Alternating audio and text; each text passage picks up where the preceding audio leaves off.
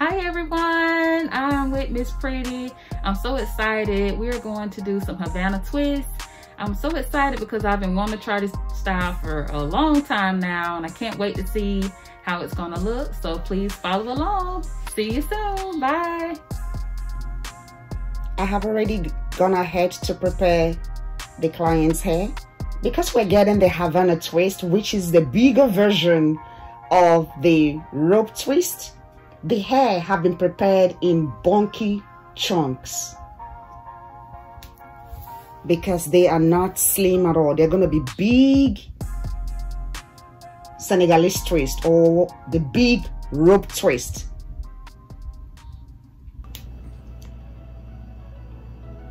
I have opened up the parts I created to show you how you can get the parts to cover the lines that are beneath each of the rows. If you look into the braiding rows, you discover that it has the first layer. I'm gonna lift this line up to show you that. This is the first layer this is the second layer. When you're creating the layers in any braids, if the design you're trying to achieve is the squares,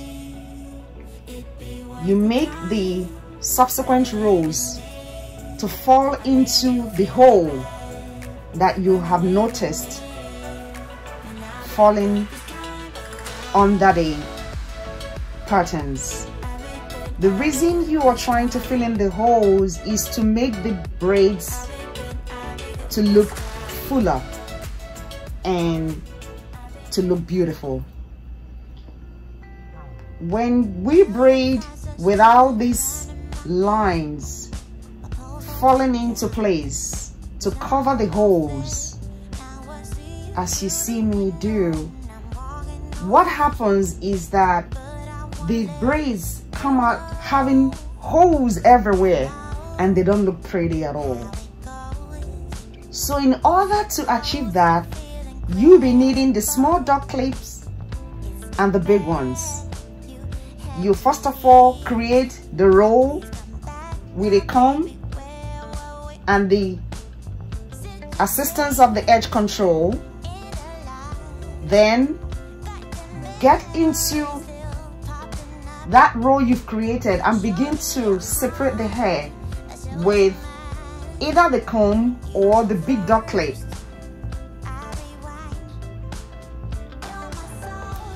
when you do that you create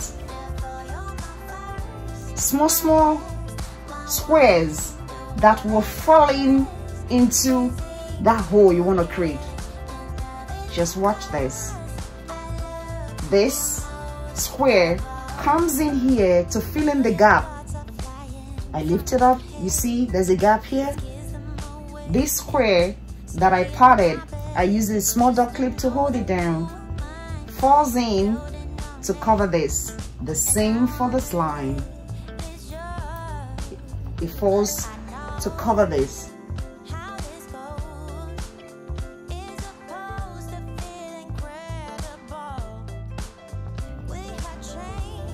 this braid is going to fall in to fill in that gap. And that's how you can braid and the hair falls into lines looking beautiful and your own hair or the client's hair also looks fuller. If you look at this row below you will discover that it has a space here and here when you are braiding you pat the layer above the lower one in such a way that the next braid coming on top covers the space that is below. In order to do that, I would have to get into this upper layer so I get into this line and I part the hair into two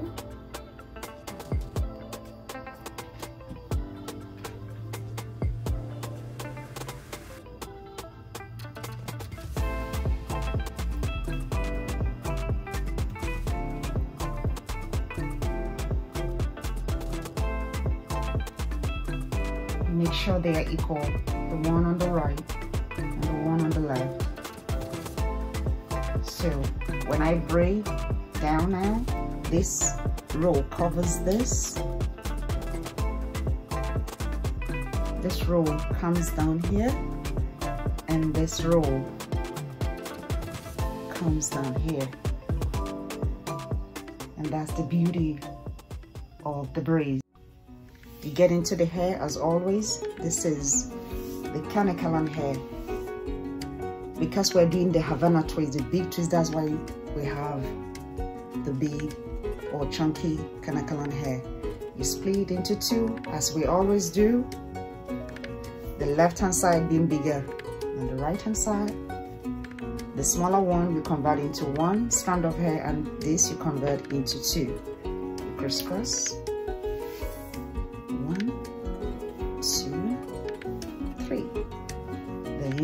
take the duck clip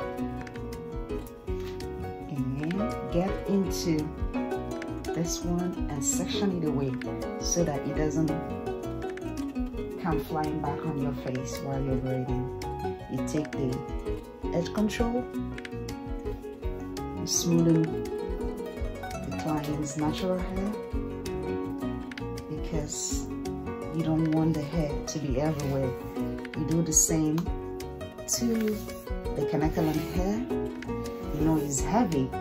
It's not the micro Senegalese twist. It's not the normal Senegalese twist. It's not medium-sized twist. This one is the big rope twist, the Havana twist. So here we have the hair. You get into the client's hair. As we have been going through our teaching, divide the hair into three. Then take the first one and add it to the upper layer and hold the braid down. Take the second one cross it over and grab the last piece and join and cross the three of them amongst themselves. You do a little bit of three strand twist to hold the hair down because you may not want to do the root Havana twist, which you may not be able to handle. But as you learn to braid better, you could try it out. But if you're a beginner, I will advise that you start your Havana twist, medium size Senegalese twist, or even the micro Senegalese twist off by doing a little bit of the box braid so that your braid can have an anchor that will help you to learn faster and better too. Then you take the edge control again and twist. You hold the braid, the Kanekalon hair very tight so that the braids don't slide out from your hands. You twist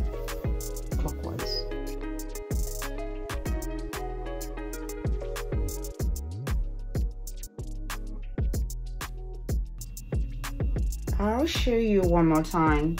You take the Kanekalon hair, crisscross, smoothing it out. It is big because we are doing the Havana twist, the big rope twist. Okay, take the hair, come to the client's natural hair, three on your own hair. You take the hair like this and install onto the scalp. You hold it down. You take the second leg, add it to the one you're holding down, cross it over. You take the remaining leg. Over here. You add it. Don't worry about the smoothness. Once you crisscross now, you use your hand on the edge control to smoothen it out. And everything will become very smooth. So when you do that, you're gonna see that the twist will turn out looking good. You take the edge control, apply to help you braid better. Because Havana twist, may be a little bit big, so the edge control helps a lot to control the hair and to merge all the hair together, which enables you to twist better and faster. So now we've done a little bit of box braid to hold the braid down. You go into the hair, the middle one, remember we have one, two, three. You divide the middle hair into two equal parts and share it between the hair on the left and the hair on the right as we have been learning from the other types of twist. I have already done a video.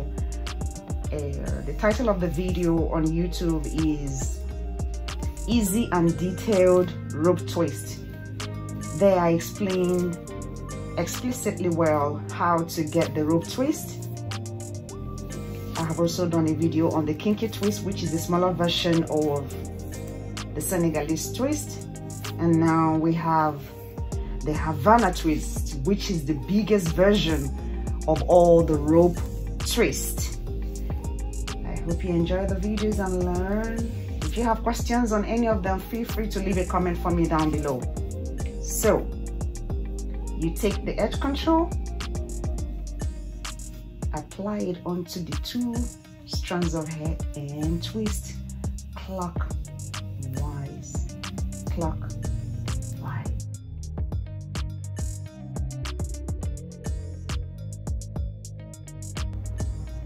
So this is the finished work on Jada's hair. You remember when I started the video, I was trying to show you how to cover the line so that you don't have holes everywhere making the braid look very unprofessional. So because i was padding the lines designing the squares to fill in the gaps of the subsequent rows i was able to use the upper layers to cover the down layer of each line. So you see this is the topmost layer. We use the braids up here to cover the holes we have here and here. The same for the second topmost layer on and on to the lowest layer. So that's how to design the hair. If you have any question on how to create the parts and how to create the layers or the lines please feel free to leave the comments below. And I will surely get back to you. So here we turn the pin around. All right. I love it. Thank you so much. I love how neat it is and I like the chunkier twist. I have a lot of hair, so this is just fitting for me. I really like it. I can go out now.